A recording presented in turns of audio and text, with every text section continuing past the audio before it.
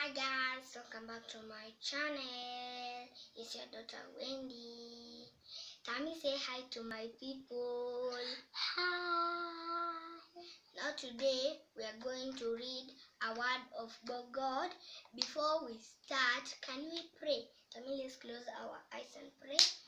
Heavenly Father, we come before you this beautiful morning.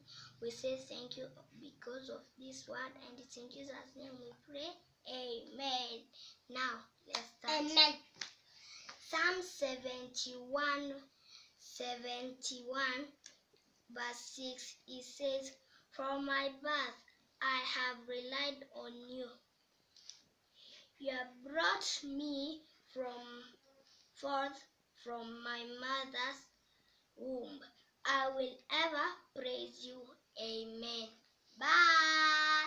Subscribe, share, and comment. Bye.